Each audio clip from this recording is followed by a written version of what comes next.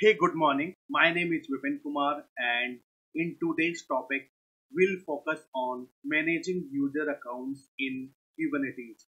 In this video, we will create user account in namespace, then assigning RBAC, role-based access control on Kubernetes resources. Kubernetes support two kinds of accounts. One is user account, second is service account user account basically for the human use like create a user account for a developer who can create delete and access the resource on kubernetes cluster.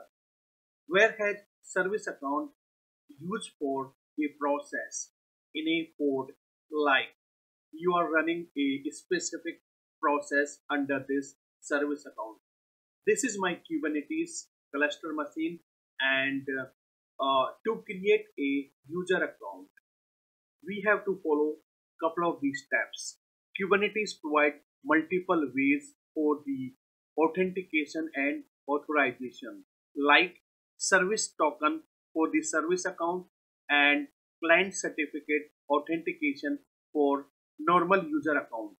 We are going to create a user account and make authentication under client certificate. There are multiple steps to create a user account and assign RBAC permissions. So first steps, we have to create a private key for the user account. So let's start. I'm taking a scenario like I have a separate team for Java project and I have to create a normal user called developer who will have the complete access on this namespace like developer can read, delete, update all the resource under the namespace called Java project. First of all, let's create a separate namespace for the Java project. I'm creating a namespace Java project. So Java project has been created. Now let's create a private key for the user account. Before that, let's create a separate folder where we are going to keep all the certificates and required file for the particular user account. I am going to create a user account called developer. So I have created a developer folder or directory. Let's now create a private key for the user developer. I'm using the OpenSSL to generate a private key and uh, the bit is 2048 it created a private key for the developer user account. This is a private key. Next step is let's create a CSR for the developer user account. Again, I'm using the OpenSSL certificate to generate a CSR.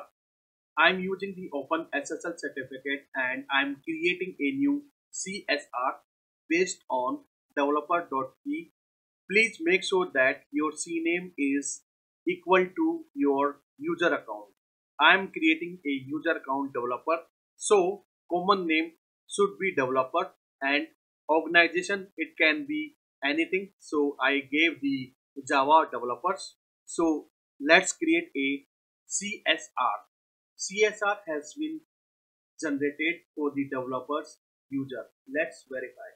This is CSR for the developers users. Now Next point is sign the certificate with the cluster CA. For that, you require to find out the location where Kubernetes cluster keep all the certificate.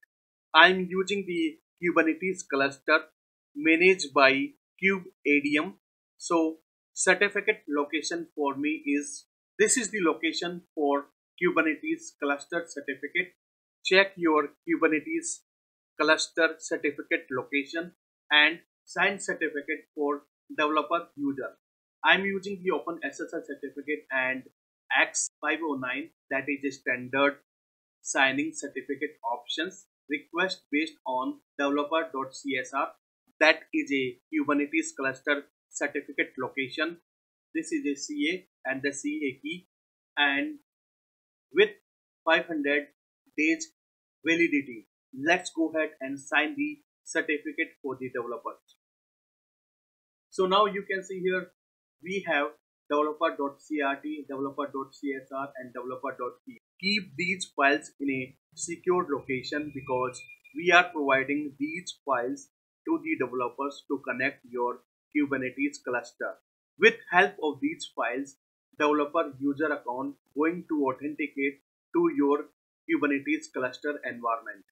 Now let's create a role for the namespace. So basically I'm creating a role for the namespace Java project. Basically this is a YAML file and I'm creating a role with API version rbac.authorization.k8s.io v1 beta 1 and I'm creating a role for the Java project namespace. This is the name and I'm creating a API group that is for everyone.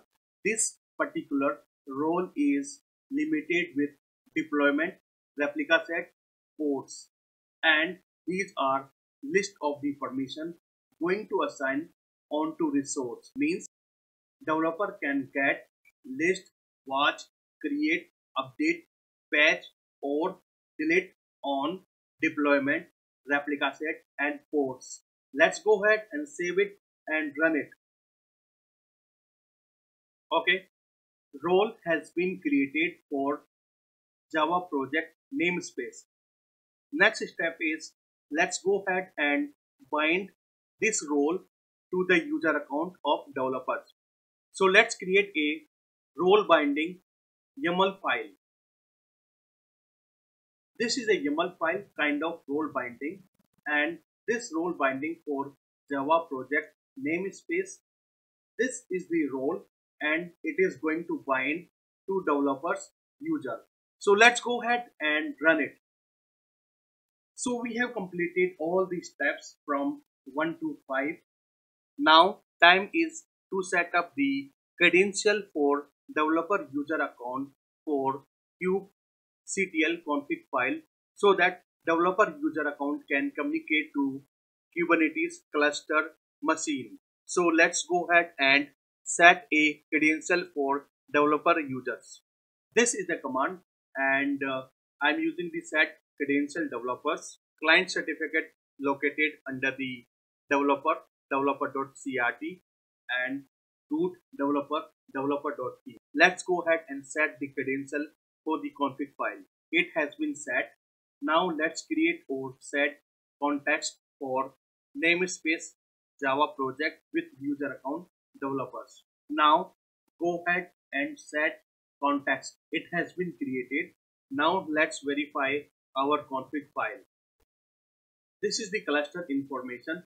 This is the cluster IP address with certificate. This is the context. This is for the namespace Java project and user developers. This is for the Kubernetes admin. This is the certificate information about developers.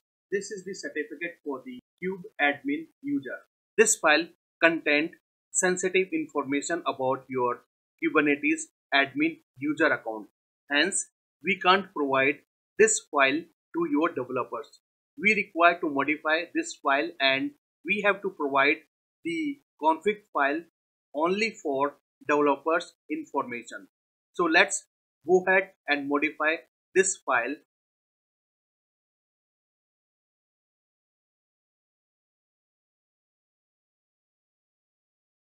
we don't require to change to cluster information. We require the context for Java project. We don't require context for Kubernetes admin. Go ahead and delete it. Change current context. It is called developer context. And we require to keep user account developer and delete user account information for Kubernetes admin. Go ahead and delete it. Now you require to provide two files. One is developer.crt and developer.p to your developer team. So let's bring those files from the server and download on my desktop because I have configured the kubectl at my local machine to connect to Kubernetes cluster. let's go ahead and download two files developer.crt and developer.key file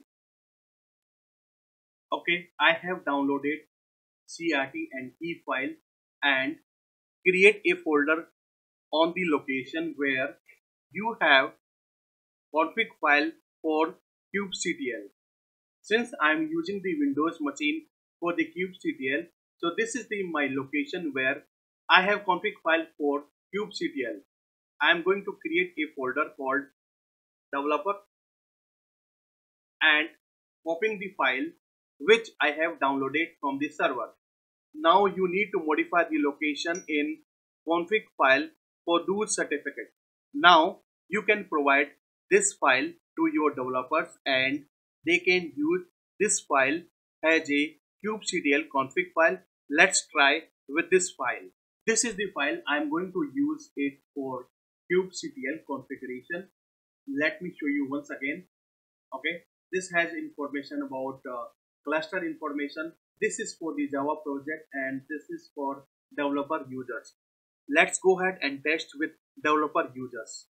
Now you can see here I am successfully able to make a connection in my Kubernetes cluster with user account developers. Let's check how many contexts we do have in this file. So we can see here we have only four developer context. Let's get try to pod from Java project namespace. So you can see here no resource found that is okay because we don't have any pod that is running under Java project namespace. Let's try to get pod under the default namespace or some other namespace where developer doesn't have the access. So look at here, we got a forbidden error because this user account doesn't have the proper access on default namespace. When we try to same namespace under the Java project, we could successfully able to get a outcome. So this particular user account have only access on Java project namespace. Let's try to run some of the pods under the namespace Java project. Now let's try to get pod information in the Java project namespace. So now you can see here, we successfully able to create a deployment. We successfully able to make a list of the code in a Java project namespace. And we isolated this user account with other namespace. This is the complete demonstration how you can create and isolate a normal user account with other namespace that's all in this video. In the coming video, I am going to demonstrate how we can provide a complete access on Java project namespace and and read only access on other namespace in Kubernetes dashboard. Thanks for watching. Have a nice day. Bye.